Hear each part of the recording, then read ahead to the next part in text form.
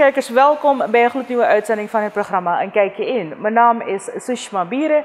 Achter de camera staan Ashna Changur en Christian Siudin. We zitten vandaag in de lobby van Queens Hotel en Casino. En we hebben dus, een, uh, als je het mij vraagt, een, uh, eigenlijk een veel verrassende jonge dame die eigenlijk vliegt. Nou, hoe ze vliegt, wat ze vliegt, waar ze vliegt, dat gaat u zo meteen horen. Maar we moeten even onze sponsoren bedanken, want mede dankzij hun kunnen we in de uitzending zijn. En dat zijn dus de Finas Enterprises, Smart Connections, SR Transmissions, Eddy Graphics and Science en de Cake Ferry. Nou, we zitten hier en uh, ik heb eigenlijk een paar keer moeten vragen wat is haar naam, omdat ik nog even moet bijkomen van de schoonheid. Dus uh, ja, wij hebben ook een bewoordering voor vrouwen. We moeten echt gaan opkijken naar zulke vrouwen.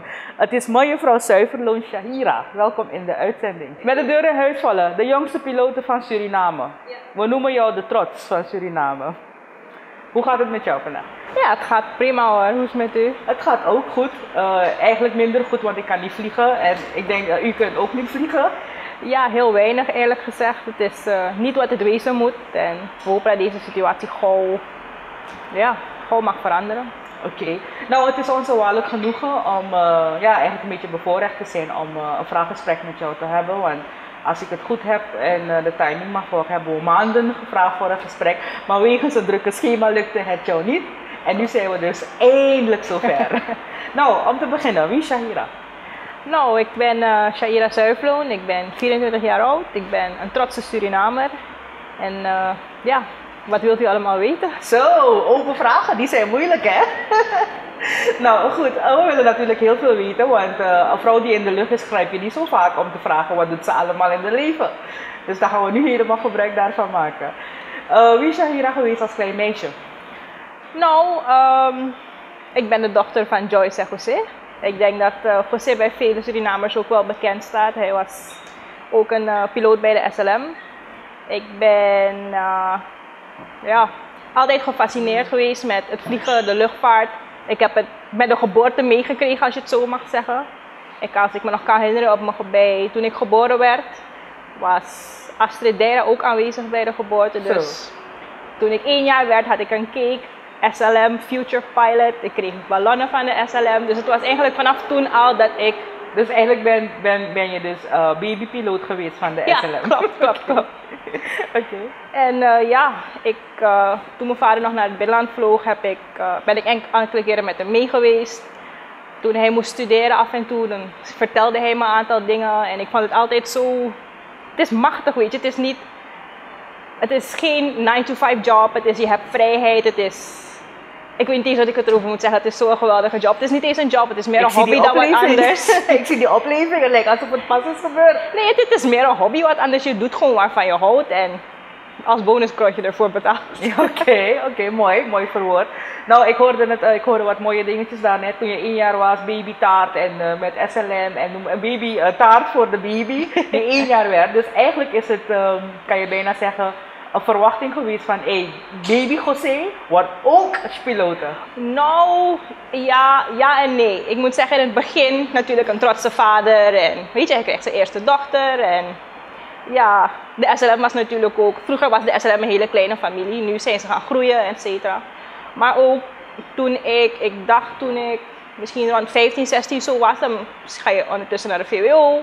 Uh, je moet een beslissing gaan maken welk pakket je gaat doen, wat wil je later worden, je krijgt beroepsdag, al dat soort dingen. En toen moest ik dus keuze gaan maken van wat wil ik worden. En toen ik mijn ouders zei dat ik piloot wil worden, waren ze er niet zo blij mee in de eerste instantie. Want ja, het was nog een beetje taboe. Er was maar één vrouwelijke piloot in Suriname. Het is een mannenwereld, et cetera, et cetera. Ondertussen is het wel gaan veranderen. Men is meer open geworden. Men heeft meer respect voor vrouwen in de zin van een mannenwereld. Dus, maar ja. Shaira, het is altijd zo wanneer uh, als kleinkind ons wordt gevraagd wat wil je worden, zeggen we dokter, piloot en politieagent en dat soort dingetjes. Uh, was het voor jou eigenlijk een, een, een, een, een woorden in de mond gelegd van als iemand je vraagt wat je wil worden, moet je zeggen piloot? Nee, nee, nee, nee. Mijn ouders hebben me nooit geforceerd om iets specifieks te worden. Ik, het is het enige wat ik ken om het zo te zeggen. Oké, okay, maar hoe komt het dan dat jij op jouw 22e al kon vliegen? Nou, ik heb, ben dus heel jong begonnen met de school. Ik ben eigenlijk een jaartje te vroeg naar school gegaan. Dus je bent ook nog hoogbegaafd? een beetje. een beetje, ik zei een beetje veel. Ja, dus ik, ik ben vroeg naar school gegaan en toen ben ik gelijk naar het VWO gegaan. Het Atheneum is ook een jaar korter dan als je via Mulo naar VWO gaat. En op mijn zeventiende ben ik dus gelijk naar het buitenland geweest om te beginnen met de pilotenopleiding. Op mijn negentiende was ik klaar. Ben ik teruggekomen naar Suriname, zoekende naar een baan. Helaas, het ging niet zo makkelijk als ik had gedacht. Ik ehm, heb een beetje op rond, zorg en hoop rondgezwerfd, als ik het zo mag zeggen. Overal een beetje proberen. Hallo, heb, ik, heb je een vlucht voor me? Hi, mag ik mee? Kan ik wat leren? Weet je? En zo heb ik het overal een beetje geprobeerd dat ik uiteindelijk terug ben gekomen bij Vortex Aviation. Daar heb ik de Cessna 206 mogen vliegen. Ongeveer een jaartje heb ik daar gezeten. En toen ben ik eindelijk beland bij Insel Air. Toen ben ik verhuisd naar Curaçao. Heb ik daar de opleiding mogen doen. Dat zelf had ook heel veel ellende met zich meegebracht. Want ik werd aangenomen, ik zou beginnen met de training. En toen helaas werd mijn... Want de training gebeurt altijd in paren van twee. En mijn kandidaat is uitgevallen, waardoor ik dus niet meer naar de training kon. Ik moest dus wachten op iemand anders.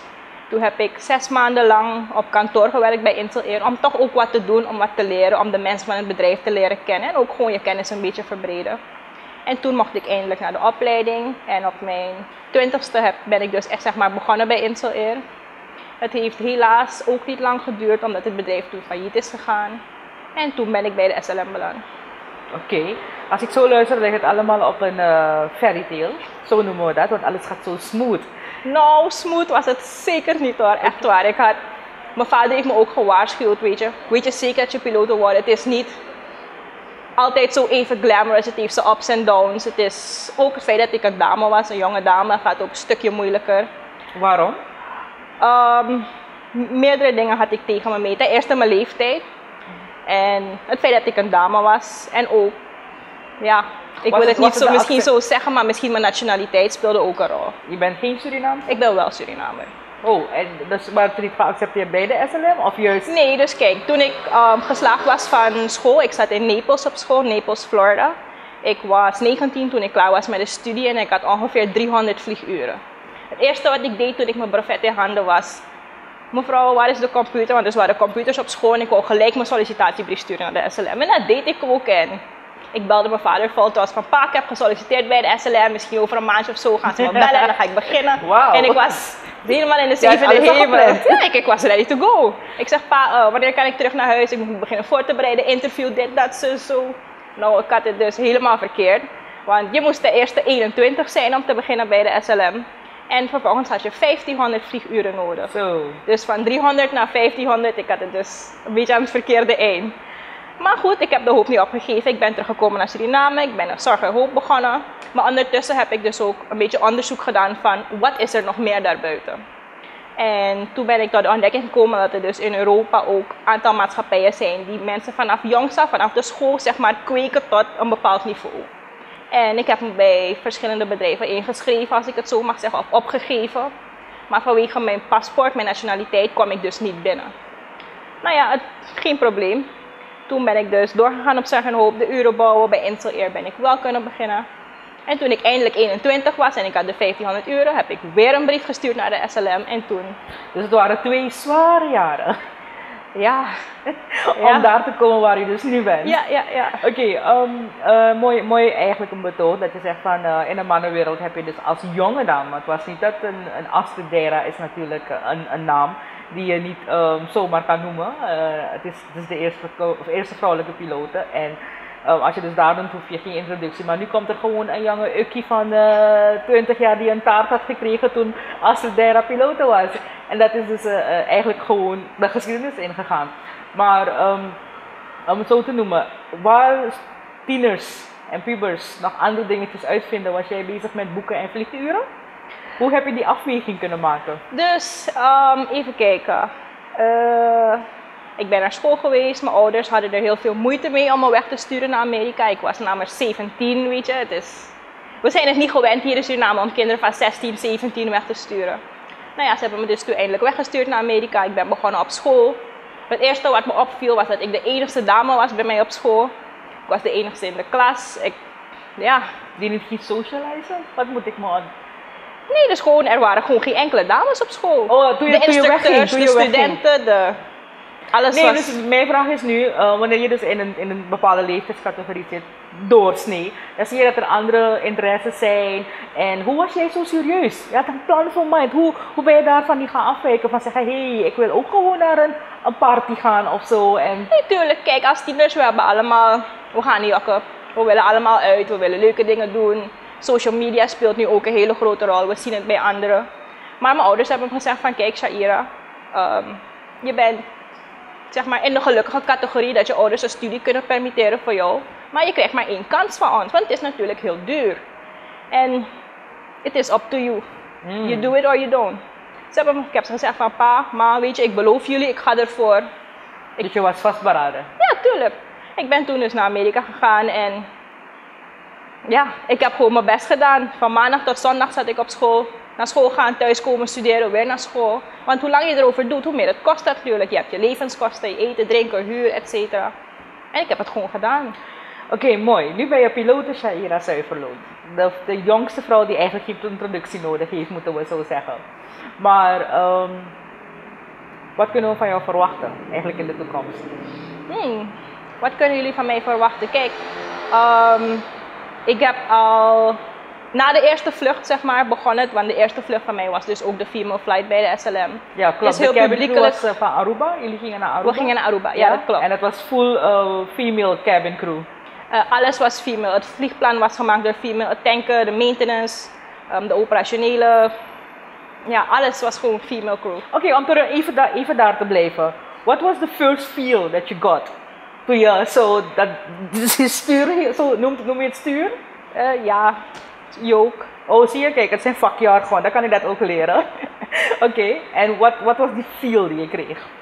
Eh, Wauw, ik, had ik had er geen woorden voor. Het was gewoon een rush van zo heb je me niet. Ook gewoon een stukje trots, een stukje, weet je, I finally, I finally made it. Dit is waarvoor ik al die jaren heb gevochten, waarover ik heb gedroomd, waarvoor ik zo hard mijn best heb gedaan. En weet je, ik ben er eindelijk. Natuurlijk, je bent er niet, want je hebt nog een hele lange weg te gaan. Maar weet je, dit is stap 1 van waar je moet zijn. Waar je moet zijn, aanzet. Ja, ja, ja. ja. Oké, en ehm, ja, dus wat, wat kunnen we nu in de toekomst van jou verwachten? Ehm, nou, ik hoop dus als dit hele COVID-gebeuren binnenkort is opgelost, hoop ik dus dat we terug kunnen gaan naar de orde van de dag, het normaal vliegschema, vlieguren bouwen. En het is natuurlijk zo dat ik, tenminste bij de SLM, gaat men op basis van senioriteit, word je geupgrade. Mijn droom is natuurlijk om ook eens captain te worden, om ook eens een widebody te vliegen, de Oké, Mid-Atlantic. oké, oké, je gaat nu een beetje snel. Captain, whitebody, we denken aan een whitebody, wat is dat? ik, ik, ik, ik, ik visualiseer whitebody, wat is dat? Ehm, dus de captain, dat spreekt voor zich, dan Ja. word je de gezagvoerder van de vlucht.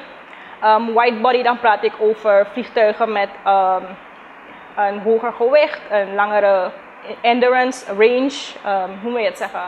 Afstand? Ehm, ja, afstand. Ze kunnen langere afstanden afleggen, meer passagiers. Dus het is gewoon een stukje, gewoon een boeing. bijvoorbeeld. bijvoorbeeld. Dus de SLM heeft nu, is nu bezig met de certificering van de 777. Ehm uitgaande dat er de 777 zijn in de komende jaren, wil ik naar de 777 gaan. Ik zou daar eventueel captain op willen worden.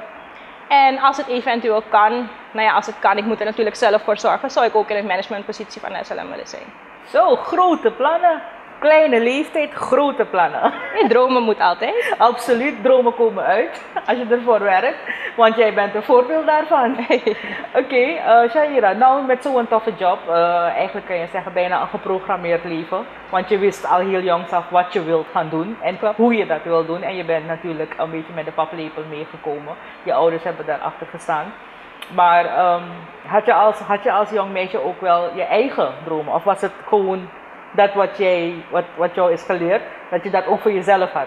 Dat je zegt, Nee, dat was ook altijd mijn droom. Ik heb, ja, ik, ehm, ik heb het gezien bij mijn vader. Ik had er altijd belangstelling voor. Het was, het was, een, soort, het was een belevenis, het was een fantasiewereld. Het was, het was only wow. En ik heb ervoor gekozen en ik heb het gedaan. Oké, mooi. En nu ben je aan het vliegen en zijn de passagiers, vooral de mannelijke passagiers, die in de cabin willen komen? Ehm, hoe, hoe bedoelt Om, om een foto te maken met de jongste piloten of zo? Ehm, ja, er zijn, toen we nog reguliere vluchten deden, kreeg ik heel vaak na de vlucht dat mensen kwamen met hun gezin, met kleine kinderen vooral, die graag een foto met je willen komen maken. En Hoe voel je je dan? Ehm, het is niet altijd gepast, want men komt soms gewoon wanneer je druk bezig bent en wanneer je zegt kunt u even wachten, dan vind, voelen ze zich een beetje. Ja, Maar weet je, het is, ja, it, it's all part of the game. part of the game. Oké, want ik weet dat uh, Astrid Dera ook een van de mensen op een gegeven ogenblik, was toen ze de, de boeiing vloog, van dat iedereen een foto met haar wilde Ja, of noem maar op. En nu ben jij dus helemaal jong, dus ik dacht van, de invloed van social media is zwaar en iedereen wil natuurlijk een foto met de jongste piloten hebben om een beetje te tonen van, hé, hey, ik ben er ook op. Nee, maar ik doe het, ik doe het graag hoor. Het is, ja, ik heb Oké. er geen enkel probleem mee. En eh, zo wat we ook eh, heel vaak horen, eh, wanneer, wanneer de cabin crew, niet de cabin crew, ja ook de cabin crew, stewards en stewardessen, krijgen altijd een tissue in hun zakje van hey kan je me bellen na de vlucht en dat soort dingen. Gebeurt dat bij jou ook? Heb ik nog niet meegemaakt. Nog niet meer, maar je meegemaakt. begint al te blozen, is toch niet omdat je vader hier zit? nou? Nee, nee, nee, nee. nee. Oké, maar ehm, nu met je drukke, drukke leven moeten we zeggen. Ehm, ik neem aan dat je zoals je, je, je eigenlijk geprogrammeerd bent, ook geprogrammeerd bent. Is er, is, er, is er een liefdesleven daartussen? Eh, ja, ik ben getrouwd. Getrouwd, dus al die mensen die hoop hadden, is gesloten. Dus je bent eigenlijk heel vroeg geprogrammeerd. Ehm, ja, ik ben al bijna zes jaar samen met mijn man. We zijn anderhalf jaar geleden getrouwd. Ja. Dus echt vroeg geprogrammeerd. Hoe kan iemand zo geordend leven? Kun je even misschien... Nou, vroeg. Het is, ik, ik ben vroeg begonnen met studeren. Ik ben vroeg afgestudeerd. Ik wist vanaf een jonge leeftijd al wat ik wou en waarvoor ik ging. En ik denk dat allemaal een rol heeft gespeeld. En ook, om eerlijk te zijn, op de lagere school, ik was altijd de jongste van de klas. Dus ik trok me altijd op met een stukje oudere mensen. En vandaar dat ik misschien ook gedwongen was om me wat eerder, ja, Je anders was op te eerder volwassen, want zoals ik het al reeds aangaf, hoogbegaafd. Dus je had dingen al vooraf door.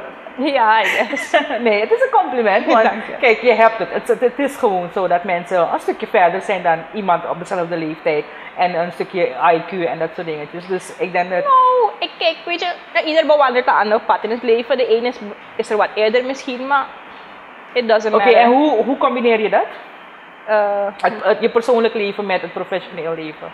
Ehm, ja, het is, het is niet altijd even makkelijk wat je bent. Tij on tij weg, ehm, je mist verjaardagen, je mist allerlei ja, bijzondere dagen. Kerst ben je er soms niet, maar het is allemaal een opoffering die je maakt. En ik denk dat als je de juiste partner hebt die willing is om je de steun te geven, zodat je je dromen kan bereiken, natuurlijk andersom ook, dan is het allemaal mogelijk. Oké, dus de, de, de, de picture is perfect. Mm, ja. Oké, nou mooi. Ehm, je hebt het eh, een paar dingetjes ook nog aangehaald, zoals ehm, een dure studie is dit. Kijk, we hebben als ehm, doorsnee jongeren die soms al zeggen van, hé, hey, wat wil je worden? Piloot. Natuurlijk, want we denken allemaal aan reizen, gratis reizen, ga je in de vlucht zitten, et cetera. Wat zou jouw wezenlijke bijdrage kunnen zijn dat er een gewone studie in Suriname kan zijn tot een volwaardige piloot of piloten? Ehm, er is al de mogelijkheid in Suriname om, als ik me niet vergis, dat je private license te gaan. Je private license is het eerste wat je houdt. En daarmee mag je dan dus vliegen, zelfstandig, maar nog niet tegen betaling. Ik kan zeg, bijvoorbeeld zeggen van, hé, hey, ehm, weet je, zondag jij en ik, we gaan een rondvluchtje boven Paramaribo maken. Maar tot daar kan je doen bij Vortex Aviation, die is gevestigd op Zorg en Hoop. Maar als ik me niet vergis hoor, moet je daarna wel naar het buitenland gaan om de rest af te ronden. Oké, en ja, dat is een vette pot. Vooral nu met de huidige situatie. Ja, dat is zo. Ja, en eh, vind, je, vind je dat het doorgroei is voor dan de gemiddelde jongeren? Eh, in welke zin bedoelt u? Doorgroei in het vak waarin jij bent. Um, het is een kwestie van. Ja. Kijk, omdat Suriname is er. Er zijn maar twee luchtvaartmaatschappijen. Je hebt de SLM en je hebt Fly Always. En eh, de, de grootste problemen die ik had tijdens mijn, zeg maar, mijn traject tot SLM was om het vak te vullen tussen de 300 uur wanneer je zeg maar, van school slaagt en om te komen aan de minimums van 1500 uur. Dat zowel de SLM als Fly Always hanteren. Dus ik denk dat we misschien op dat gebied wel iets zouden kunnen doen in Suriname. Ik heb bijvoorbeeld, ja, ik weet niet als ik het zo kan zeggen, ik heb dus moeten betalen voor mijn vlieguren. Ik heb me dus aangesloten bij Vortex. Maar die man zei van, weet je, je, je hebt, je hebt geen ervaring. Ik, waarom zou ik je aannemen? En ja, je moet jezelf verkopen. Dus ik ben toen een aantal keer met hem meegegaan en ik heb hem dus betaald om mij mee te nemen op enkele vluchten. En naarmate hij zag van, weet je, deze persoon is willing, deze persoon heeft het in zich om, ja, om door te groeien tot een volwaardige piloot, om het zo te zeggen. Heeft hij gezegd oké, weet je wat, I give you a shot. En toen heeft hij me dus aangenomen en daar heb ik dus de kans gehad om mijn vlieguren te bouwen om uiteindelijk bij de SLM te belanden. Maar niet ieder is zo lucky om het zo te zeggen. Dus op dat gebied zou ik misschien wel wat willen doen voor de jongere Surinamers. Nou, um, Shaira, um, we hoeven het eigenlijk niet aan de stoelen en banken te stappen. Wanneer we over de SLM horen en al die mensen die daar zitten en noem het maar op. Het is familie en vrienden en zus en faces. Als ik tegen jou zeg, Shaira, je hebt dit gekregen omdat je mevrouw Zuiverloon bent. Wat zeg jij daarop? Nou, ik ben het er niet helemaal mee eens, omdat ik naar mijn mening een heel moeilijk traject heb door, moeten doorstaan om uiteindelijk te zijn waar ik ben vandaag. Um, zoals ik zei, ik ben op een hele vroege leeftijd naar Amerika moeten gaan. Ik was de enige dame in de klas. Vanaf daar al had je zeg maar een stukje. Ik werd niet meegenomen in alles, ik moest bepaalde dingen zelf doen. Ja, dus toen kwam ik terug naar Zorg en Hoop en daar heb ik dus blush flying gedaan. En dat was ook niet uh, all that glamorous. Ik moest um, inladen, uitladen, dingen optillen, zelf tanken. Ik praat over vliegtuigwassen als je terugkomt om 5 uur s middags. Dat moest allemaal zelf dus gedaan eigenlijk, als ik het goed begreep, dan is het niet dat ze uh, een vrouw als minder zien in de mannenwereld. Het gaat eigenlijk meer om, om, om kracht, niet om kennis. Onder andere, bij bushflying heeft kracht, als ik het zo mag zeggen, ook een rol gespeeld. Maar ook het, het type mensen zeg maar, dat je vervoert. Je hebt te maken met goudzoekers, met um, militairen, met... Uh, ja, allerlei type mensen breng je mee. Ik heb uh, zwangere vrouwen gehad aan boord. Ik heb uh, overledene passagiers gehad aan boord. Dus ja, het was niet altijd even glamorous. Maar ondertussen bleef ik solliciteren bij de SLM, omdat dat uiteindelijk mijn, mijn doel was. Daar wou ik heel graag belanden. Um, ik heb dus toen gevraagd, weet je, is er misschien iets anders dat ik kan doen in de tussentijd, aangezien ik de vlieguren en de leeftijd nog niet had. Toen ben ik beland bij Amst in Amsterdam, bij de ticketing office, heb ik daar enkele maanden gewerkt. Ik heb tickets verkocht, ik heb moeten dealen met klanten, met claims, maar zo zie je ook weer de andere kant van de medaille. En uiteindelijk heeft Insel eer me opgeroepen nadat ik meerdere malen ook had gesolliciteerd daar. Toen daar was het ook niet wat het wezen moest, want een tegenkandidaat was uitgevallen. Ik heb zes maanden lang moeten werken bij cruise scheduling, bij de operations department. Dan kon ik wel naar de training, dan weer niet, dan kon ik wel naar de training. En vervolgens ging het bedrijf daarna ook nog failliet. Dus uh, ja, het, is, het heeft allemaal ups en downs, maar je moet doorzetten zodat je kan zijn waar je bent. Dus je laat je niet bij de pakken neerzetten van, nee, oh, one door closes. You believe in, if one door closes, another opens. Tuurlijk, er zijn altijd opportunities en misschien is het niet altijd wat je wilt in de eerste instantie, maar het valt altijd wat uit te leren. Oké, mooi verhaal. Dus eigenlijk heb je dus dat helemaal ontkracht door te zeggen van, it's not about names and faces. Nee. Oké, mooi. Dus uh, ik kan nog mijn droom waarmaken om piloot te worden? Tuurlijk, tuurlijk, tuurlijk. Oké. Nou goed, Shahira, het is een heel mooi um, verhaal. Het is uh, eigenlijk een heel persoonlijk verhaal dat je hier vertelt. En misschien op bepaalde vlakken wel um, bevoorrecht, moet ik zeggen. In, in zo'n geval, in jouw geval bijvoorbeeld, zat je financieel goed om de studie te kunnen doen. Maar het andere geval is dat je eigenlijk gewoon zelf hebt moeten ploeteren om te zijn waar je nu bent. Ik kan me nog dagen herinneren dat ik op school zat. We hadden een vak, het heette General Navigation. En ik begreep er absoluut niks van. Ik had, ik echt zoiets van, weet je wat, laat maar. Misschien is het toch niet voor mij. Misschien had mijn vader gelijk. En ik kan, ben toen volgens mij drie of vier dagen niet verschenen op school. Ik, ik, ik kon echt niet meer. Ik had echt zoiets van, weet je, laat het maar. En toen was ik een tijd, ik was down en ik dacht van oké, wat nu? En wat, wat was die vak dan? Want ik hoor navigation. Um, het had te maken met berekeningen, cijfers, met um, hoe ga je van punt A naar punt B. Um, met snelheid, met druk, met hoogte, met alles en nog wat. En ik, ik zag het even niet meer zitten. En ik ben vier dagen dus niet naar school geweest. Maar toen dacht ik, weet je wat? Dit is wat ik wil en ik ga ervoor. Ik heb de boeken gepakt, ik heb hulp gevraagd bij de verschillende leerkrachten. Ik ben na school bleef ik achter om hulp te vragen. En uiteindelijk is het me gelukt. Dus het is gewoon een kwestie van doorzetten. Oké, en uiteindelijk is het je gelukt. Daarmee wil ik dus eigenlijk voorbeduren dat we binnenkort met jou naar Nederland vliegen. Want de eerste beste vlucht die Surinamers pakken is uh, uh, Nederland, uh, Sanderij, Amsterdam. Um, ik zit helaas nog niet op de Amsterdam-route. Bij de SLM zit de verdeling zo. Je hebt de regio en je hebt de Mid-Atlantic. Op de regio vliegen wij met de Boeing 737 nu. En op de Mid-Atlantic binnenkort met de 777. Um, voor mij om door te schuiven naar de Mid-Atlantic zou ik um, eerst nog wat meer ervaring moeten opbouwen. En het is ook een kwestie van senioriteit. Oké. En ik ben pas twee jaar bij de SLM, dus Nee, maar dat wil niet zeggen dat het niet gaat gebeuren. Nee, tuurlijk Ja, niet. Tuurlijk dus, niet. dus binnenkort zitten we weer in de cockpit bij, bij jou om een foto te maken van... We hebben het gehad met mevrouw Astrid Deira en nu ben jij de, de opvolger, kan je zeggen? Nou, ik zie jullie graag aan boord. Absoluut, absoluut. Nou, ehm, dit brengt ons gelijk naar onze sponsor die de jongste piloot ook in, eh, in de water willen leggen. Het is een klein gebaar, geen kleinigheid, want anders ga je niet in de vlucht mee kunnen. Het is een klein gebaar namens onze sponsor, dus ik wil even vragen voor assistentie. Nou, ehm,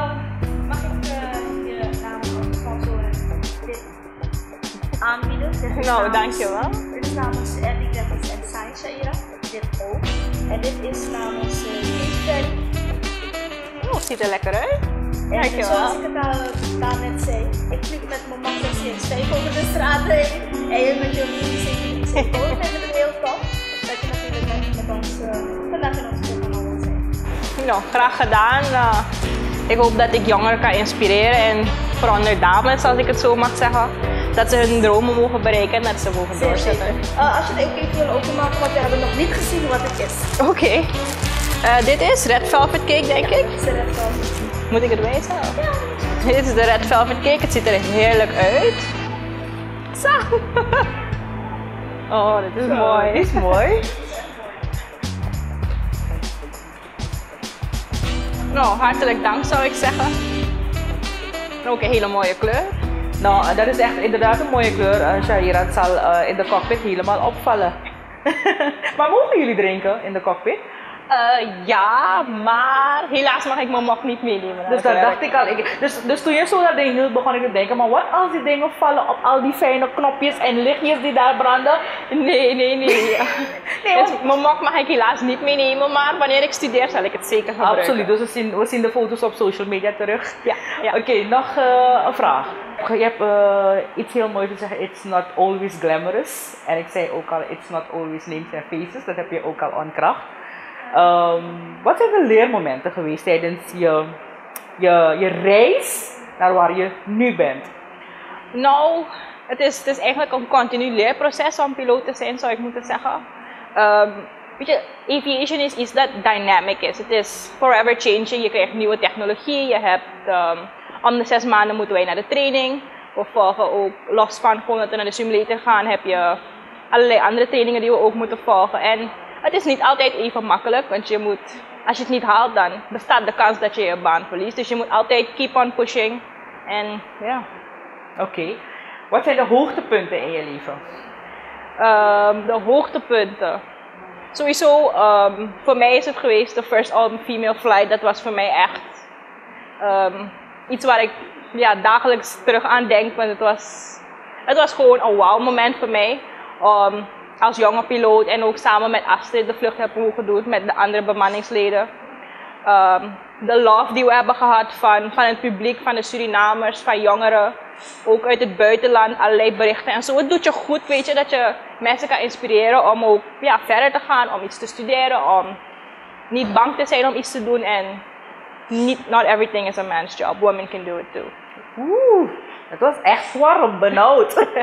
nou goed, dat is heel mooi ehm, dat je dat zo hebt afgesloten. Eigenlijk wil ik niks meer aan toevoegen. Ik vind dat een sterke statement en eh, ik heb niks meer aan toe te voegen of te vragen. Want anders zou ik het moment een beetje gaan bederven.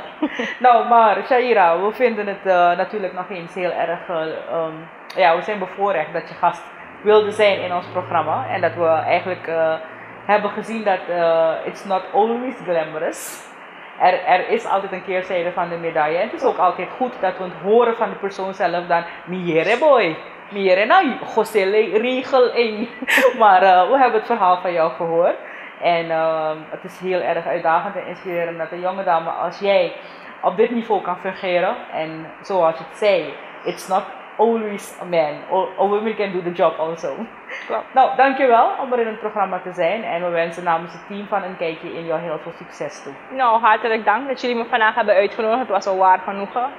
En ja, ik hoop jullie gewoon aan boord te zien. Zo, dat is, als we de tickets krijgen, dan eh, zijn we er gelijk. nou, dankjewel Shaira. Nou kijkers, dat was eh Shaira Zuiverloon. Eigenlijk kun je zeggen de jonge dynamische vrouw die geen introductie behoeft. Maar ze heeft haar verhaal hier verteld. Eh, je hoeft niet dus de zoon van José of de dochter te zijn van meneer Zuiverloon. Als je iets wil, kun je het zelf bereiken en dat heeft dus zij ook bewezen.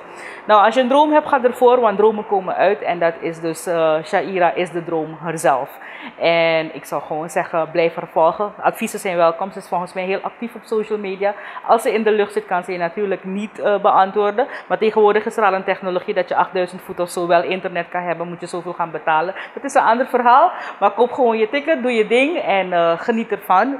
Ga achter je dromen. Shaira is sowieso een voorbeeld daarvan. We willen u bedanken namens de Finas Enterprises, Smart Connections, SR Transmission, RD Graphics Science en de Cake Ferry om er in de uitzending te willen zijn met ons om er een mooie programma van te gaan maken. We zaten in de lobby van Queens Hotel en Casino. Ik ben Sushma Bieren voor de camera. Achter de camera hebben gestaan Ashna Changoor en Christian Sildin. Tot de eerstvolgende uitzending.